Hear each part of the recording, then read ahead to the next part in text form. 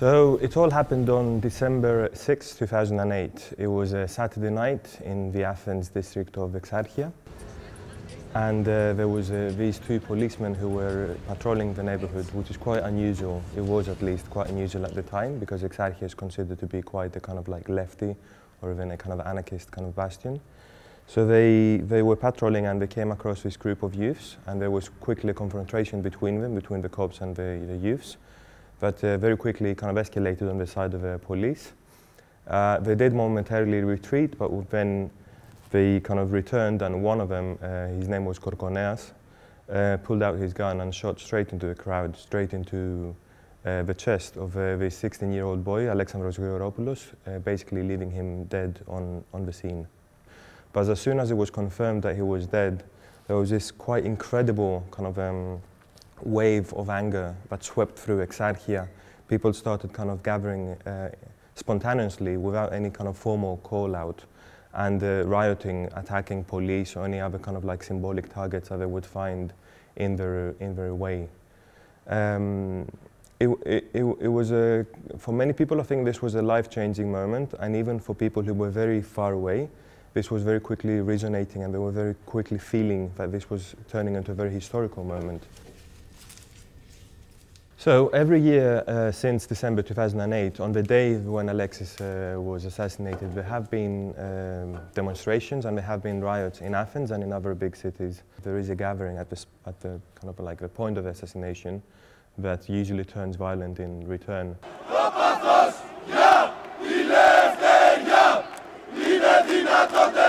And it's interesting because, like I said, it's not an official kind of like a commemoration. It's more uh, people who felt very close to Alexis, either politically or age-wise, who take to the streets again um, to kind of like commemorate what, what happened.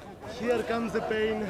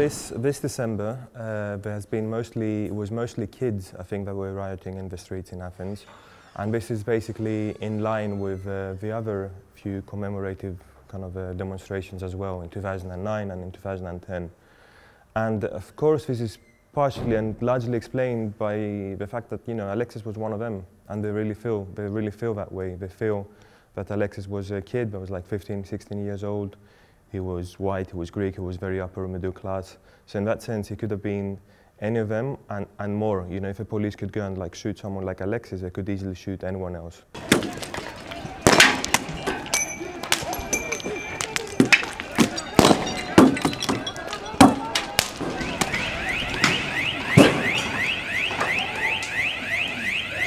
These kids do very quickly, very quickly realize that they are a completely kind of no future generation. But if, if us age like feel kind of like uncertain or kind of disgruntled about the, the future, then these kids are absolutely fucked. But they can't even, it's hard for them to even imagine completing a proper, whatever that would mean, proper education, high school education in Greece. They're absolutely doomed and they're very angry about that.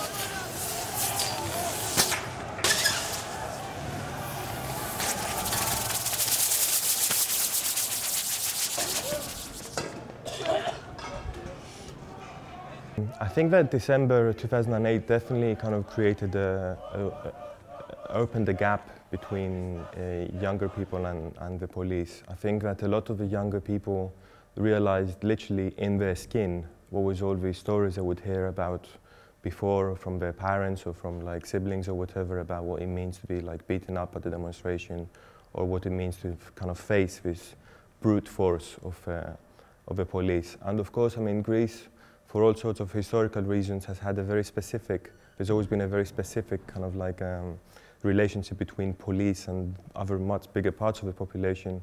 And there's always been very specific, uh, politically speaking, very specific kind of segments of the population that will choose uh, to go into the police as a, as a career.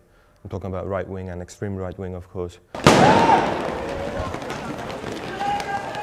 Interestingly enough, this also means that uh, the riots after the death of Alexis were sort of a harbinger for what's coming next, because the kind of repression that these groups felt and kept, they've kept feeling, but they felt up to that point, has now been generalized to a much larger part of the society. So if, only, if it was only those parts of the society that had the reason to riot back then, now it's almost everyone.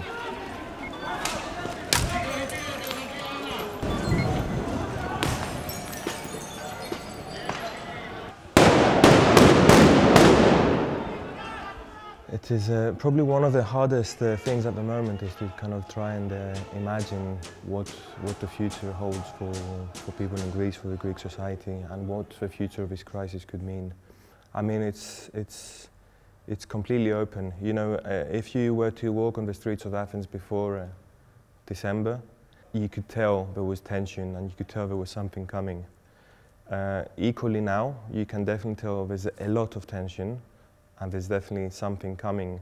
But I think it's so, uh, the kind of, the waters are too dark to read through, if that makes sense. You know, it's really hard to understand what direction people are going to head into.